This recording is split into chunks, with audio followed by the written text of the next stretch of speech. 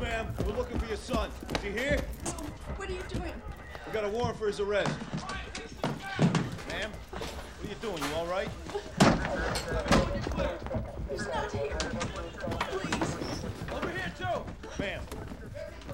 Looks like she's having chest pains, Kevin. Dump it all out. Come on. Check your full weapons. She's having problems. Call paramedics.